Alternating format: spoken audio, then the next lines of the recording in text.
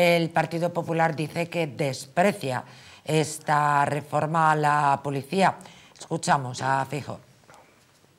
La democracia debe cultivarse también porque al debilitamiento de las viejas certidumbres, las naciones occidentales suman además retos inéditos, el referido de la polarización, no es menor el, reto migratorio, que seguro que los presidentes autonómicos comentarán por la tarde, el reto de la autonomía estratégica, de la competitividad de la economía europea, el reto digital, con su inquietante deriva hacia la desinformación. Pues no era ese el corte que queríamos escuchar. En cualquier caso, dice Feijó que la va a revertir. ¿Qué confianza os ofrece eh, Fijo Bueno, pues a mí me ofrece la misma, la misma confianza que cuando eh, el ministro Montoro del Partido Popular, del gobierno de, de, Rajoy, subió el IVA, subió el IRPF y dijo que era un tema temporal y todavía estamos esperando a que baje el IVA y que baje el IRPF. La misma. O sea, cero. Es Dicen algo que no hacen eso nunca. Es un drama, eso es un drama de, del centro derecha de España, que an, cuando sube un gobierno de izquierdas implanta una serie de normas que por mucho que estén en desacuerdo la derecha, cuando vuelven, cuando, entra otra a la derecha, las mantiene. Es un complejo. Yo creo que es un complejo. Salvo en un caso, salvo en un caso, que me toca un poco de... que es la educación.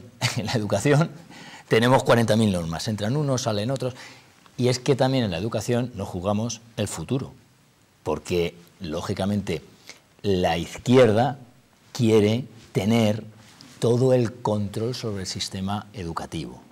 Y eso no es baladí, no es, no es, no es de gratis.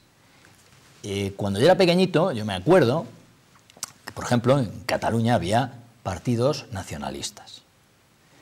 Se cedió la educación a, las, a las autonomías. La, las famosas transferencias. La, ¿Y qué ocurrió después de 30 años? Que las generaciones que fueron educadas ¿sí? en una serie de dogmas que se imponían desde la comunidad autónoma han transformado a esos partidos nacionalistas en una suerte de independentistas, porque van a más.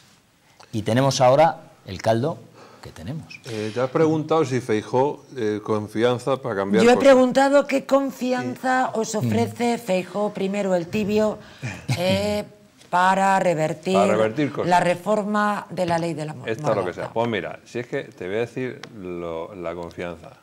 Ninguna, porque él ha sido muchos lustros eh, presidente de la comunidad gallega y era la única, ¿eh?